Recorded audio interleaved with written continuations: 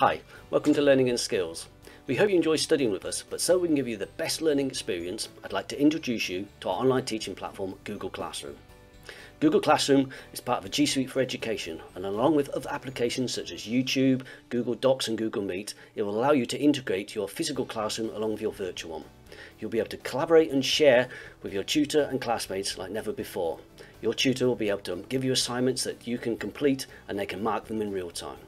But don't worry if you've got limited technical abilities, we are here to support you along the way. So let's get started. When you sign up and complete your enrolment on a course, we will email you your new login details and instructions via your personal email address so that you can join Google Classroom. First, in any web browser, go to classroom.google.com or if you're using a phone or tablet, download the Google Classroom app from your relevant app store. Please ensure you sign out of all accounts, otherwise Google will try and revert to your default or personal email if you've already accessed the Google application. The email address you'll be using will be in the following format. Your initial followed by your surname at dlas.ac.uk,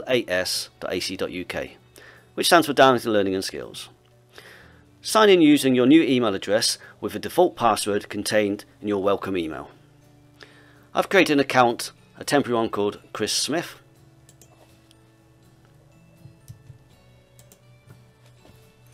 Next, accept Google's terms and conditions.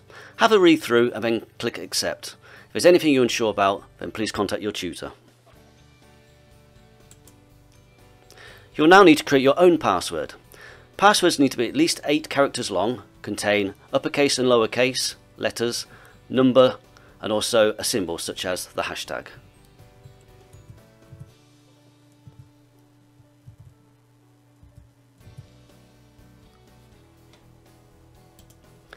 Next, you'll be asked to protect your account. You don't need to do this at this stage. If you click update, you'll need to put in your own mobile phone number and it will allow you to reset your password if you get locked out. But for now, you can simply click confirm.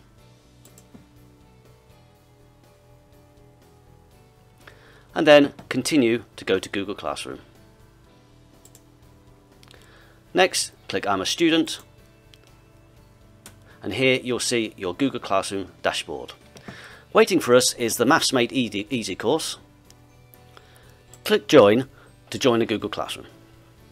The first page you'll see will be the stream. On the stream you'll see your tutor's name, the title of the course and a link to Google Meet, but we'll discuss that shortly. The stream also contains all notifications such as assignments that are being set or messages from your tutor or classmates. You can reply to these or you can simply click on them to see the work. You can also put your own comment in. So for now, if you click share something with your class and type a simple welcome message and post it. Next we have the classwork tab. The classwork tab contains materials and assignments that your tutor has set you that need completing throughout your course. The assignments are usually broken down into weeks so that you can see when you need to do something and your tutor may also schedule something so they don't all appear at once. There'll also be something like documentations, which gives you the Google Meet policy, which are the rules that you need to adhere to when joining a video conference. There'll also be the individual learning plan. The individual learning plan, along with most of the assignments, will be in the Google Docs format. This is an alternative to Microsoft Word, and it means that you don't need to purchase Microsoft Office for your own computers. If you're using a smartphone or a tablet, however, you will need to download the Google Docs application from the App Store. But don't worry, it's free. Google Docs is pretty similar to Microsoft Word. However, what you'll notice is that every time you make a change, at the top, it's automatically saving. This is a fantastic feature, as it means that you never have to worry about losing any work. For instance, if you're on a train and you're completing an assignment and you go through a tunnel and lose your internet, when you come out the other side, you'll be right there where you first had it. Your individual learning plan will need completing by yourself and your tutor throughout your course.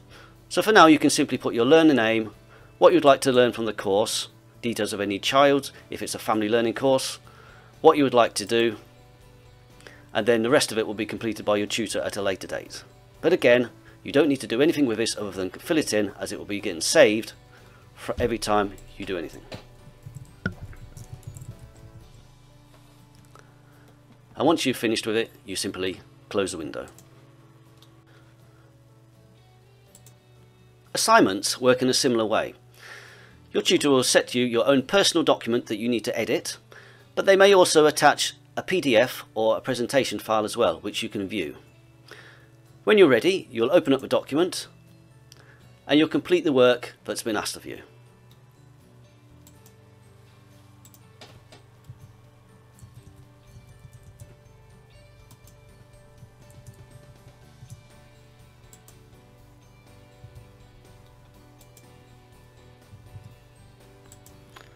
and I'm going to do one that's incorrect here.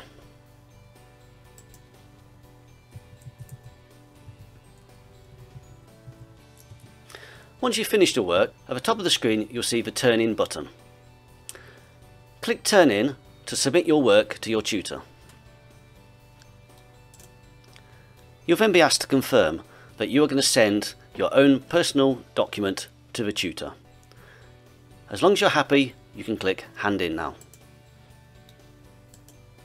Your work has now been handed in and you can see by the title up here and it also gives you the option to unsubmit if you weren't quite happy with it. You can edit it again.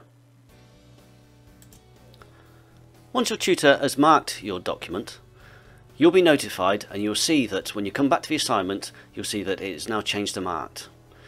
Using another one of these temporary learners I can show you what it will look like. If you click view assignment you'll see that there's a comment here and the grade that you've got. If I open up the document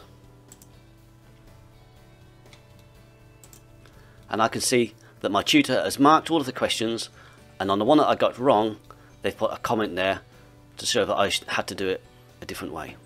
And I can change this and hand it in again by turning it in again. And then it may get remarked and I might get a higher score. So that's how your assignments work. And they will form the assessment criteria throughout your course. So that everything is done online, you can see all of your feedback and all of the points will add up hopefully to achieving your aims at the end of the course. Next we have the People tab. The People tab will list for teachers and classmates in your class. And you can contact your teacher directly by simply clicking on the email notification and that will send them an email to their Gmail account which is part of a Darlington Learning and Skills login. Finally I'd like to show you the Google Meet. The link in the description will take you to your tutor's current meeting session. And in here you can video conference with or without your camera on, either one-to-one -one or as a group. You will only be able to access this though when your tutor is in, and they will post a message in the stream saying when this meet is going to go live. Click on the link and it will open up Google Meet in a separate window. Here you can choose to turn your camera off and also mute your microphone. Always recommend muting your microphone when you first join just in case there's more five people in which case it will be very noisy. Click join now and you'll see that there are other people in this call already. When there are only a few of you, you will each have a screen so that you'll be able to see who's talking and who is in here. When it gets a bit more crowded, you can go to the top icon here and click on the people and it will show you who's actually in the room.